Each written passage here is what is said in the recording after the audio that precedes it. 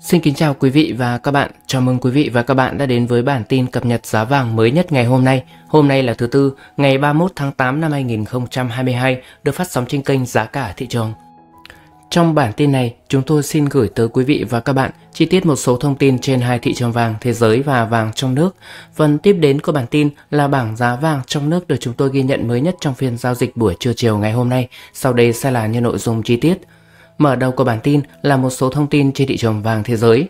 Theo ghi nhận mới nhất ở thời điểm này thì giá vàng trên thị trường thế giới vẫn trong xuống giảm với tỷ lệ giảm nhẹ là 0,05%, hiện tại đang giao dịch quanh ngưỡng 1.723 đô la Mỹ trên một ao. Với phạm vi giao dịch trong ngày hôm nay tính đến thời điểm hiện tại, mức thấp nhất là 1.720,50 đô la Mỹ và mức cao nhất là 1.724,41 đô la Mỹ trên một ao. Bên cạnh đó, chỉ số đồng đô la Mỹ quay đầu giảm nhẹ với tỷ lệ giảm là 0,12%, giao dịch ở mức 108,692 điểm.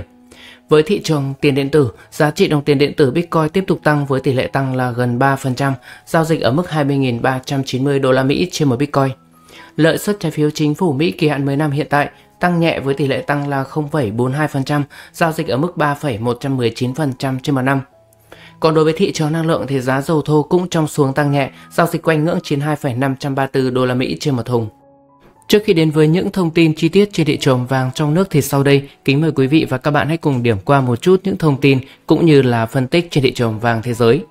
Theo trang phân tích tài chính investing.com, Hoạt động sản xuất ở các tiểu bang Trung Đại Tây Dương của Mỹ đã bất ngờ tăng tốc vào tháng 8 sau 2 tháng suy giảm trước đó.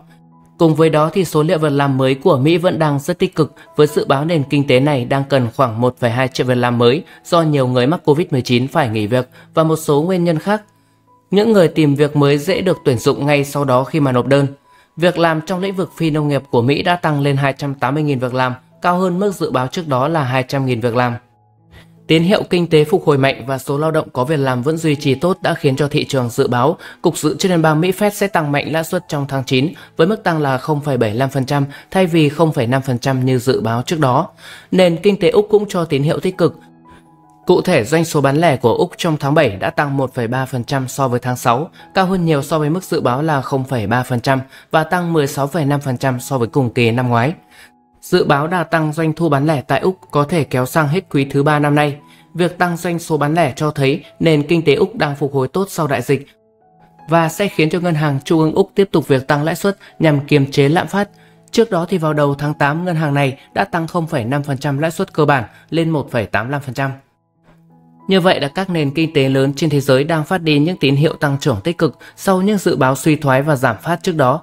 Những thông tin kể trên đã khiến cho giới đầu tư đẩy mạnh bán vàng, là tài sản dự trữ chuyển sang nắm giữ tiền và trái phiếu. Trong ngày hôm qua là ngày 30 tháng 8, quỹ ủy thác vàng lớn nhất thế giới SPDA đã bán ra 4,28 tấn vàng, mức bán cao nhất trong vòng 10 phiên bán dòng của quỹ này trong tháng 8, đưa lượng vàng nắm giữ của quỹ này giảm xuống còn 976,26 tấn. Giới chuyên gia nhận định, tín hiệu các nền kinh tế đang tích cực dần sẽ còn đẩy giá vàng giảm sâu trong thời gian tới, nhất là sang đầu tháng 9 với các báo cáo kinh tế được công bố do đó mà việc đẩy mạnh bán vàng ra trong thời điểm giá vàng còn cao sẽ hạn chế rủi ro. Phần tiếp đến của bản tin sẽ là một số thông tin trên thị trường vàng trong nước.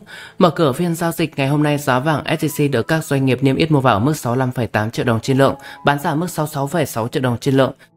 Hiện tại chỉ giảm 100.000 đồng trên một lượng so với cuối ngày hôm qua.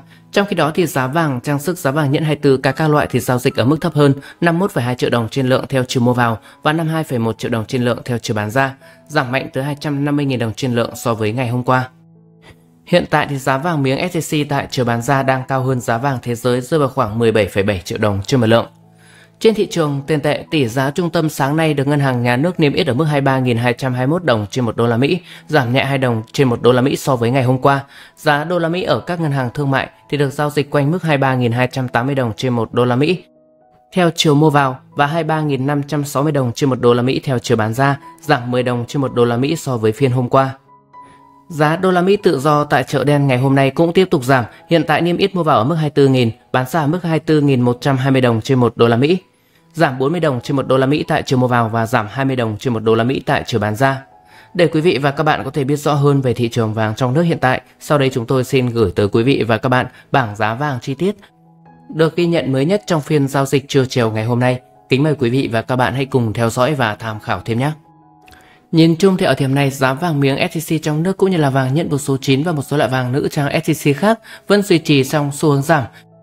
Tuy nhiên thì với nhận một số 9 và một số loại vàng nữ trang SJC khác thì duy trì đà giảm mạnh hơn, hiện tại thì đang được niêm yết như sau. Đầu tiên sẽ là giá vàng SJC tại ba thành phố lớn. SJC Hồ Chí Minh từ 1 cho đến 10 lượng, mua vào 6 triệu 580 nghìn, bán ra 6 triệu 660 nghìn, giảm 100 nghìn đồng trên một lượng ở chiều mua vào và bán ra hay là giảm 10 nghìn đồng trên một chỉ ở chiều mua vào và chiều bán. Chênh lệch giữa chiều mua vào và chiều bán ra hiện tại vẫn đang dao động trong khoảng 800 nghìn đồng trên một lượng. STC Hà Nội và STC Đà Nẵng mua vào 6 triệu 580 nghìn, bán ra 6 triệu 662 nghìn, giảm 10 nghìn ở chiều mua vào và bán ra. PNG Hồ Chí Minh mua vào 6 triệu 570 nghìn, bán ra 6 triệu 650 nghìn, giảm 20 nghìn ở chiều mua vào và chiều bán. PNG Hà Nội mua vào 6 triệu 575 nghìn, bán ra 6 triệu 655 nghìn, giảm 15 nghìn ở chiều mua vào và bán ra. Doji Hồ Chí Minh mua vào 6 triệu 585 nghìn, bán ra 6 triệu 655 nghìn, giảm 5 nghìn ở chiều mua vào và chiều bán. Doji Hà Nội mua vào 6 triệu 575 nghìn, bán ra 6 triệu 655 nghìn. Phú Quý SGC mua vào 6 triệu 570 nghìn, bán ra 6 triệu 650 nghìn, giảm 10 nghìn ở chiều mua vào và chiều bán. Bảo Tín Minh Châu mua vào 6 triệu 572 nghìn, bán ra 6 triệu 646 nghìn, giảm 18 nghìn ở chiều mua vào, giảm 13 nghìn ở chiều bán ra. Mi Hồng SJC mua vào 6 triệu 595 nghìn, bán ra 6 triệu 635 nghìn, giảm 5 nghìn ở chiều mua vào, giảm 15 nghìn ở chiều bán. Tiếp đến là giá vàng SJC một số ngân hàng. Ngân hàng Eximbank mua vào 6 triệu 550 nghìn, bán ra 6 triệu 650 nghìn, giảm 10 nghìn ở chiều mua vào và bán ra. Ngân hàng SCB mua vào 6 triệu 550 nghìn, bán ra 6 triệu 650 nghìn, giảm 20 nghìn ở chiều mua vào và chiều bán. Ngân hàng Tbank Gold mua vào 6 triệu 575 nghìn, bán ra 6 triệu 655 nghìn. Ngân hàng Vietinbank mua vào 6 triệu 580 nghìn, bán ra 6 triệu 662 nghìn, giảm 10 nghìn ở chiều mua vào và bán ra. Tiếp đến là giá vàng SJC ở một số tỉnh, thành phố khác. Thời điểm này thì giá vàng SJC ở một số tỉnh, thành phố khác giảm 100.000 đồng trên một lượng ở chiều mua vào và bán ra, hay là giảm 10.000 đồng trên một chỉ ở chiều mua vào và chiều bán. Chênh lệch giữa chiều mua vào và chiều bán ra hiện tại đang dao động trong khoảng 800.000 đến 820.000 đồng trên một lượng. Thời điểm này thì đang được niêm yết như sau. STC Nha Trang và STC Cà Mau mua vào 6 triệu 580 nghìn, bán ra 6 triệu 662 nghìn. STC Huế mua vào 6 triệu 577 nghìn, bán ra 6 triệu 663 nghìn. STC Bình Phước mua vào 6 triệu 578 nghìn, bán ra 6 triệu 662 nghìn. STC Biên Hòa, miền Tây và Quảng Ngãi mua vào 6 triệu 580 nghìn, bán ra 6 triệu 660 nghìn. STC Long Xuyên mua vào 6 triệu 582 nghìn, bán ra 6 triệu 665 nghìn. STC Bạc Liêu mua vào 6 triệu 580 nghìn, bán ra 6 triệu 662 nghìn. STC Quy Nhơn, Phan Rang, Hạ Long và Quảng Nam mua vào 6 triệu 578 nghìn, bán ra 6 triệu 662 nghìn. Cuối cùng là giá nhận một số 9 và một số loại vàng nữ trang STC khác. Hiện tại vẫn duy trì đà giảm mạnh trong khoảng từ 83 đến 200 000 đồng trên một lượng hay là giảm trong khoảng 8.300 đến 20 000 đồng trên một chỉ tùy vào mỗi loại vàng. Thời điểm này thì đang được niêm yết như sau. Nhận bộ số 9 từ 1 cho đến 5 chỉ mua vào 5 triệu 120 000 bán ra 5 triệu 210 000 Vàng buôn số 9 mua vào 5 triệu 110 nghìn, bán ra 5 triệu 170 nghìn, giảm 20 nghìn ở chiều mua vào và bán ra với hai loại vàng này. Vàng 24K mua vào 4 triệu 988,8 nghìn, bán ra 5 triệu 118,8 nghìn. Vàng 18K mua vào 3 triệu 692,9 nghìn, bán ra 3 triệu 892,9 nghìn. Vàng 14K mua vào 2 triệu 829,4 nghìn, bán ra 3 triệu 029,4 nghìn. Vàng 10K mua vào 1 triệu 971,1 nghìn, bán ra 2 triệu 171,1 nghìn. Quý vị và các bạn thân mến, mọi diễn biến tiếp theo trên hai thị trường vàng thế giới và vàng trong nước sẽ được chúng tôi liên tục cập nhật ở những bản tin tới.